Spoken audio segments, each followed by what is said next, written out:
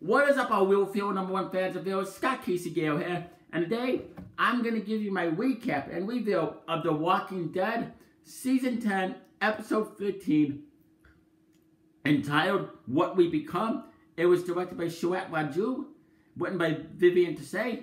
And I gotta say, I thought last night's episode of The Walking Dead Season 10, Episode 13 was a very good episode. I really enjoyed last night's episode. Okay, let's begin with the recap, shall we? Michonne arrives at the naval base with Virgil, but finds no weapons. Soon realizing it's a trap, Virgil locks her up and she finds there's other captives on the island. Virgil then drugs her, and she experiences hallucinogenic visions of Andrea and Siddiq, and what her life and what her life would have ha had been if been she sided with Negan and the Saviors. As she as she comes to she stabs Virgil, escapes, and frees the others.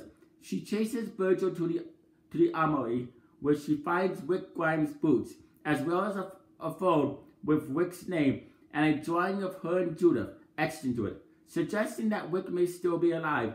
Allowing Virgil to live, she takes leave of the others and contacts Judith via walkie-talkie to tell her intent to find Rick.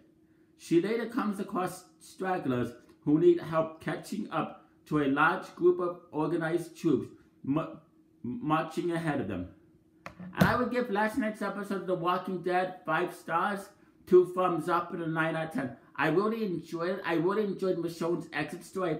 In my opinion, it, it was very well done. Because last night was um Michonne's last episode. So I'm taking it um that she's gonna be in a Walking Dead trilogy movie coming to theaters. Um there's which is gonna feature Rick Grimes and and it looks like um she is she is on her way to find Rick and that's how um the Walking Dead movies are gonna end up. But anyway, last night's episode, like I said, it was a very good, enjoyable episode. And there's three episodes left this season.